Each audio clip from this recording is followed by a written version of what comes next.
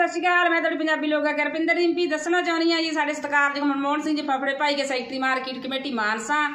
ਉਹਨਾਂ ਦੀ ਭਾਣਜੀ ਦਾ ਵਿਆਹ ਸੀ, ਅੱਜ ਸਾਰੇ ਨਾਨਕ ਚੱਕ ਚੱਲੇ ਆ, ਜੋ ਕਿ ਪੁਰਾਤਨ ਸਮੇਂ 40 50 ਸਾਲ ਪਹਿਲਾਂ ਰਸਮਾਂ ਹੁੰਦੀਆਂ ਸੀ, ਗੱਡੇ ਤੇ ਨਾਨਕੇ ਜਾਂਦੇ ਹੁੰਦੇ ਸੀ। ਸੋ ਤੁਹਾਨੂੰ ਗੱਡਾ ਵੀ ਵਿਖਾਇਆ ਜੋ ਗੱਡਾ ਬੁੱਕ ਕੀਤਾ ਹੋਇਆ ਤੇ ਅਸੀਂ 12 1 ਵਜੇ ਲਾਈਵ ਹੋ ਕੇ ਤੁਹਾਨੂੰ ਕੋਸ਼ਿਸ਼ ਕਰਾਂਗੇ ਵਿਖਾਉਣ ਦੀ। ਤੁਸੀਂ ਪੁਰਾਤਨ ਸਮੇਂ ਦੀਆਂ ਪੁਰਾਣੀਆਂ ਰਸਮਾਂ ਸਾਰੀਆਂ ਵੇਖਣੀਆਂ, ਬਠਿੰਡੇ 'ਚ ਅਸੀਂ ਅੱਜ ਬੱਲੇ ਬੱਲੇ ਕਰਵਾ ਕੇ ਆਉਣੇ ਆ।